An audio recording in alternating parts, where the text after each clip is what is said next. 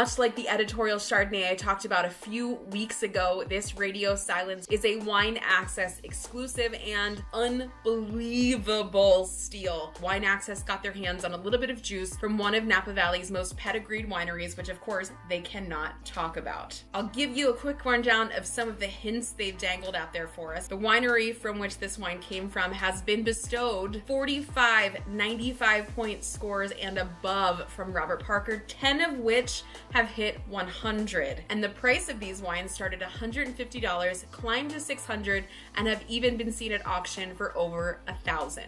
Still, a score doesn't say everything about a wine. The most important part is in the glass. On the nose, you've got massive layers of tobacco, cherry, big unctuous fruit. It has the taste, feel, and texture of a wine that is three times its price.